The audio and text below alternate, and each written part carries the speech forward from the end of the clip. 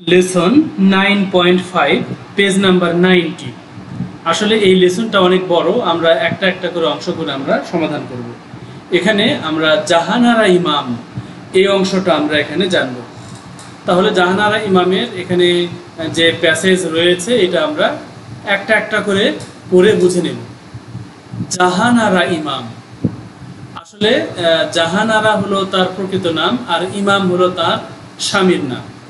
আমাদের দেশে বা ভারতবর্ষে কিন্তু স্বামীর নামের সাথে মানে নিজের নামের সাথে মানে স্ত্রীদের নামের পরে স্বামীর নামটা যুক্ত করার রেওয়াজ বা প্রথা রয়েছে, জাহানারা ইমাম। যেমন যেমন ছিল ফজিলাতুন নেসা মুজিব। এখানে স্বামীর নামও থাকতে পারে, আবার বাবার নামও বা পিতার নামও থাকতে পারে। অন দ্য ডে সেই দিন হোয়েন যখন বঙ্গমাতা বেগম ফজিলাতুন্নেসা মুজিব ওয়াজ রিলিজড যখন তিনি মুক্তি পান। সেটা ছিল আসলে ষোলোই ডিসেম্বরের পরের দিন, অর্থাৎ বিজয় লাভ করার পরের দিন, সতেরোই ডিসেম্বর তিনি মুক্তি পেয়েছিলেন, সেই দিনের কথা।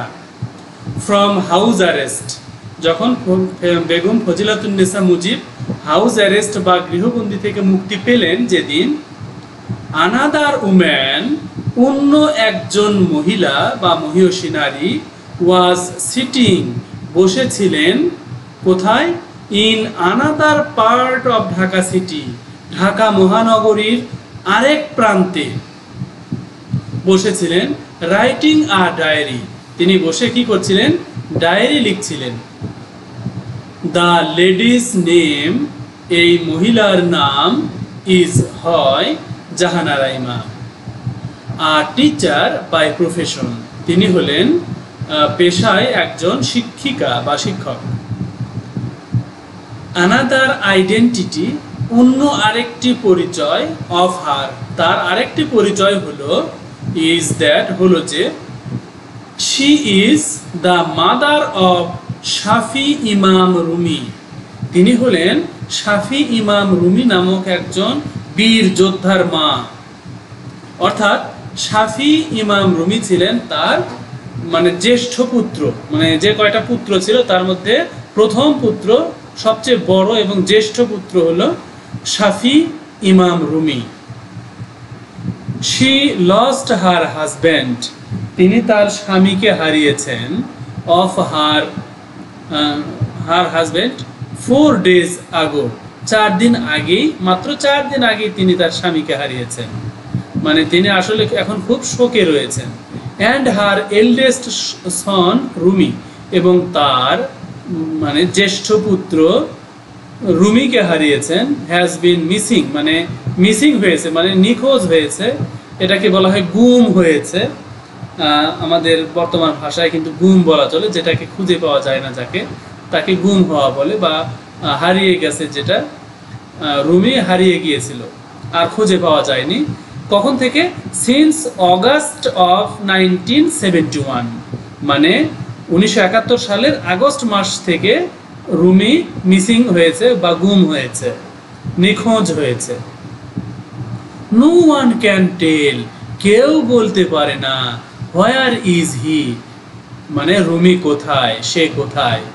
ইফ ওয়ান্টেড যদি চাওয়া হয় হার সন মানে যদি চাওয়া হতো her son could have become big engineer. তাহলে তার ছেলে যদি চাইতেন মানে রুমি যদি চাইতেন, তাহলে একজন বিশাল একটা ইঞ্জিনিয়ার হতে পারতেন, একজন স্থপতি হতে পারতেন। He could have been sent he could have been sent to the ইলি এখানে দেখো, এই প্রথমে এটা কিন্তু বড় হাতের আই, আর তারপরে দুটো হলো ছোট হাতের এল। তারপরে আবার ছোট হাতের I. Illinois Illinois Institute Illinois Institute of Technology আসলে এটা হলো ইউএসএ বা আমেরিকার একটা প্রাইভেট বিশ্ববিদ্যালয়, যেখানে খুব উচ্চ মানের গবেষণা করা হয় রিসার্চ করা হয়। এরকম একটা ইউনিভার্সিটি তিনি সেখানে ভর্তি হয়ে বড় একজন ইঞ্জিনিয়ার হতে পারতেন। আচ্ছা বাট কিন্তু Rumi gave up give give মানে দেওয়া, আর গিভের পরে যদি আপ থাকে, তাহলে সেটা হলো ত্যাগ করা বা লিভ পরিত্যাগ করা। তাহলে বাট কিন্তু রুমি গেভ আপ রুমি পরিত্যাগ করলেন বা ছেড়ে দিলেন, বাদ দিলেন দ্য চান্স অফ অ্যাডমিশন ভর্তির সুযোগটাকে তিনি মানে ফেলে দিলেন, ভর্তি হলেন না। To one of the best universities in the world মানে বিশ্বের যতগুলো ভালো ভালো বিশ্ববিদ্যালয় রয়েছে, তার মধ্যে একটা বিশ্ববিদ্যালয়ে তিনি ভর্তির চান্সটাকে কি করে দিলেন? মানে অবজ্ঞা করে ফেলে দিলেন যে আমি এগুলো চাই না, আমি দেশের জন্য কাজ করব। ইনস্টিট এর পরিবর্তিতে তিনি কি করলেন? He joined the liberation war তিনি মুক্তিযুদ্ধে ঝাঁপিয়ে পড়লেন জয়েন করলেন, যোগ দিলেন। ফর আওয়ার কান্ট্রি আমাদের দেশের জন্য তিনি মুক্তিযুদ্ধে ঝাঁপিয়ে পড়লেন। আসলে বীরেরা এমনই হয়। তারা দেশের জন্য নিজেদের জীবন পর্যন্ত দিতে চায়, নিজের জন্য কিছুই করতে মানে চায় না। দ্যাট মাদার সেই মা মানে জাহানারা ইমাম, সেই মা ইজ সিটিং বসে রয়েছেন, কার সাথে? উইথ হার লিটল সন তার কনিষ্ঠ পুত্রের সাথে। সেই কনিষ্ঠ পুত্রের নাম জামি। সবচেয়ে ছোট যে পুত্র বা ছেলে জামি, তাকে সাথে নিয়ে মা বসে আছেন। The country has become independent. দেশটা স্বাধীন হয়ে গেছে। আসলে আমরা এখানে সেই ইউনিভার্সিটি দেখছি। এটাই হলো ইউএস এর একটা বিখ্যাত বিশ্ববিদ্যালয়। এই বিশ্ববিদ্যালয়ে তিনি পড়ে বড় একজন ইঞ্জিনিয়ার হতে পারতেন। কিন্তু তা না করে তিনি দেশের জন্য ঝাঁপিয়ে পড়ে জীবন দিলেন। এই জন্যই বলা হয় জাহানার ইমামের আরেকটা পরিচয় হলো, তিনি হলেন রুমির রুমির মা। তিনি হলেন রুমির মা। কারণ মহাবীর রুমিকে কিন্তু সবাই চেনে, বাংলার সবাই চেনে। Mother keeps writing in the diary. মা লিখেই চলেছেন ডায়েরিটা। ইন দ্য আফটারনুন মানে তিনি যেগুলো লিখেছেন, সেটা এই যে কোটেশন মার্কের এখান থেকে শুরু করে কোটেশন মার্ক কোথায় শেষ হয়েছে দেখো? মানে যেখানে শেষ হয়েছে, সেখানে তার কথাটা কিন্তু শেষ হবে। তাহলে এখানে আমাদের কোটেশন মার্ক শেষ হয়েছে। এরপরের, আসলে দেখো, এখানে স্টার্টিং টা রয়েছে কোটেশন মার্কের স্টার্টিংটা রয়েছে, কিন্তু ফিনিশিংটা আমরা কিন্তু এখানে খুঁজে পাচ্ছি না। এখানে কিন্তু নাই হয়তো বা ভুল করে সেটা ওঠেনি। তোমাদের বইয়ে থাকলে তোমরা কমেন্ট করে জানিয়ে দিবে যে এটা কত পৃষ্ঠায় রয়েছে। মানে এই কোটেশন মার্কটা শেষ হয়েছে কোথায়? আমরা এখানেও দেখতে পাচ্ছি না এবং পরের প্যারাটাও শেষ হয়ে গেল সেখানে দেখতে পাচ্ছি না। আর পরের কথাগুলো তো আসলে তার কথা নয়, এগুলো অন্য কথা। যাই হোক, আমরা এখানে দেখি তিনি আসলে ডায়েরিতে কি লিখেছেন। ইন দ্য আফটারনুন, বিকেলে the news of Rayer Bazar slaughter house, রায়ের বাজার বৌদ্ধভূমি। স্লটার মানে জবাই করা, হাউস মানে মানে কেন্দ্র বা বাসা মানে যে জায়গায় মানুষদেরকে মেরে পিল আপ করে দেওয়া হতো, মনে করো স্তূপ করে রেখে দেওয়া হতো বা অনেকগুলো কবর দেওয়া হতো। এইরকম জায়গাকে বলা হয় বৌদ্ধভূমি। আর ঢাকার রায়ের বাজারে একটা বৌদ্ধভূমি রয়েছে। এটাকে বলা হয় Rayer Bazar slaughter house. Also reached my ears মানে রায়ের বাজার, বৌদ্ধভূমির এই করুণ, মর্মান্তিক খবরটাও আমার কানে এসেছে। এটা তিনি, এগুলো তিনি লিখলেন। আই ফিল ভেরি রেস্টলেস আমি খুব ক্লান্ত অনুভব করছি। দ্যাট মানে হোয়াট শুড আই ডু আমি এখন কি করতে পারি? হোয়ার শুড আই গো আমি কোথায় বা যাব? আই ক্যান্ট আন্ডারস্ট্যান্ড এনিথিং আমি কিছুই বুঝতে পারছি না। রুমি ইজ রুমি অ্যালাইভ রুমি রুমি কি জীবিত আছে? বেঁচে আছে? How can I get news আমি কীভাবে তার খবর পাবো? আমি কীভাবে তার সন্ধান পাবো? আমি কীভাবে তার খোঁজ পাবো? From home can I get news কার কাছ থেকেই বা আমি আমার রুমির খবর পাব? Sharif left at that time Sharif সেই সময় লেফট মানে ছেড়ে গেল। বোথ অফ আস আমাদের দুজনই ওয়ার সাফারিং ফর রুমি আমা- আমরা দুজনেই রুমির জন্য সাফার করছি, দুঃখ ভোগ করছি। ওয়েটিং ফর রুমি রুমির কখন ফিরে আসবে এই জন্য ওয়েট করছি। রুমির প্রত্যাশায় রয়েছি, রুমির দিক পানে চেয়ে রয়েছি। এইরকম কথাগুলো তিনি ডায়েরিতে লিখলেন। নাও এখন I have to do anything alone হায় হায়, এখন তো আমাকে একাই কাজ করতে হবে, রুমি নাই। আমার প্রিয় রুমি নাই, আমাকে একাই কাজ করতে হবে।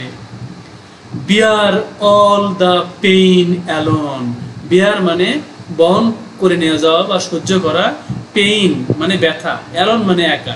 তার মানে এসব এতগুলো ব্যথা আমাকে একাই শুয়ে যেতে হবে। এরকম করুণ কথাগুলো তিনি ডায়েরিতে মনের মানে আবেগে তিনি লিখলেন। আর তার এই লেখা কিন্তু সারা, মনে করো যে বাংলায় বা সারা পৃথিবীতে কিন্তু তার এটার পরিচিতি রয়েছে। এখন দেখো বলেছে phone and electric lines phone এবং বিদ- বৈদ্যুতিক লাইন আর স্টিল নট ফিক্সড এগুলো এখনও ফিক্সড হয়নি, সমস্যার সমাধান করা হয়নি। মানে ফোন বলতে তখন তো মোবাইল ফোন ছিল না টেলিফোন ছিল। টেলিফোনের তার ইলেকট্রিক লাইনের তার মানে বিদ্যুতের তার, এগুলো ছিন্ন বিচ্ছিন্ন অবস্থায় যুদ্ধের পরে পড়েছিল। এগুলো এখনও মেরামত করা হয়নি ফিক্সড করা হয়নি। হু উইল ডিসাইড কে সিদ্ধান্ত নিবে?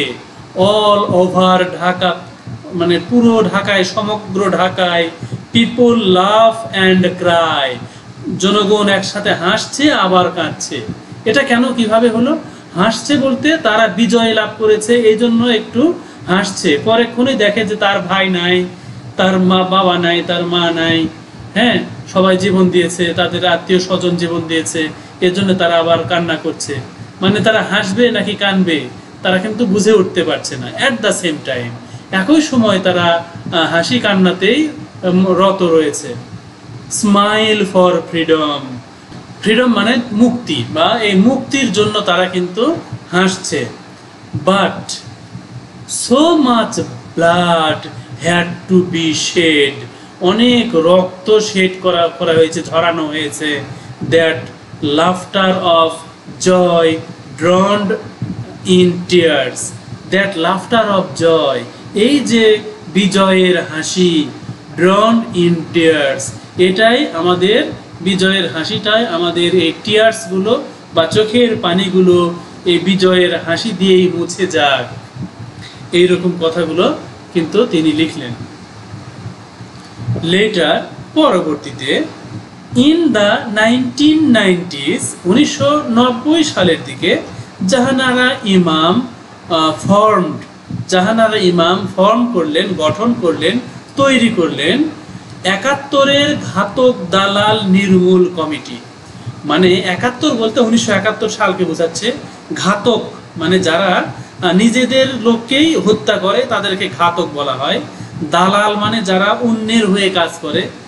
যেমন পাকিস্তানের হয়ে যেসব বাঙালিরা কাজ করেছিল, তাদেরকে দালাল, একাত্তরের ঘাতক দালাল বলা হয়। এগুলোকে নির্মূল মানে আপরুট করা, একবারে উচ্ছেদ করার যে কমিটি, এই কমিটি তিনি গঠন করেছিলেন।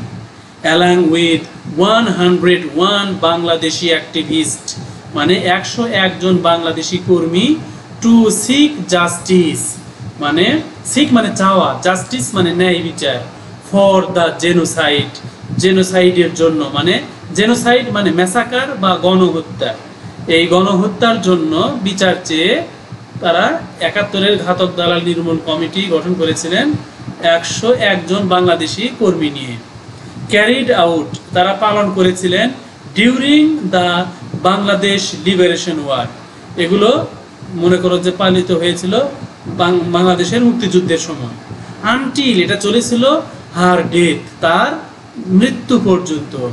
শি ওয়াজ ভোকাল তিনি ছিলেন একজন ভোকাল বলতে যার কণ্ঠস্বর উঁচু বা ভোকালিস্ট যার কণ্ঠ সাবলীল কণ্ঠ। About the punishment of the war humanitarian criminal of nineteen seventy one. অর্থাৎ উনিশশো একাত্তর সালে মানবতা বিরোধী যে ক্রিমিনাল যারা ছিল, এই সবদের মানে তাদেরকে পানিশমেন্টের জন্য তিনি ভোকাল ছিলেন। মানে তার কণ্ঠ উঁচু ছিল, বজ্রকণ্ঠ ছিল। তিনি ছিলেন বজ্রকণ্ঠ। পাকিস্তানের বিরুদ্ধিতা যারা মানে পাকিস্তানের পক্ষে এবং বাংলাদেশের বিরুদ্ধিতা যারা করেছিলেন, করেছিল তাদের বিচারের জন্য। একাত্তরের ঘাতক দালাল নির্মূল কমিটি তিনি গঠন করেছিলেন। পাকিস্তান অ্যালাইড রাজাকার। পাকিস্তানি অ্যালাইড। অ্যালাইড মানে সহ কি বলা যায় যে এটা তো সঙ্গী বললে ভুল হবে। মনে করো যে যারা সাথে থাকে, অ্যালাইড দোসর পাকিস্তানিদের দোসর রাজাকার আল বদর এই রাজাকার আল বদর এরা ছিল পাকিস্তানের পক্ষে এবং বাংলাদেশের বিপক্ষে তারা কাজ করেছিল মুক্তিযুদ্ধের সময়। এদের নির্মূল করার যে কমিটি, এই কমিটি তিনি গঠন করেছিলেন একাত্তরের ঘাতক দালাল নির্মূল কমিটি। আচ্ছা তাহলে তিনি যেসব মহান কাজ করে গেছেন এইসব কাজের বর্ণনা কিন্তু আমরা এই মানে অংশ থেকে আমরা পাই। এখন আমরা একটা হোমওয়ার্ক করব, এটার অ্যান্সার তোমরা কমেন্টে লিখে দিবে। Make a sentence with fruit fruit word দিয়ে একটা যে কোনো একটা সেন্টেন্স লিখে কমেন্টে পাঠিয়ে দাও। আর সেই সাথে এই ভিডিও এখানে রাখছি। আল্লাহ হাফেজ। আসসালামু আলাইকুম ওরহমতুল্লাহ বারাকাতুহ।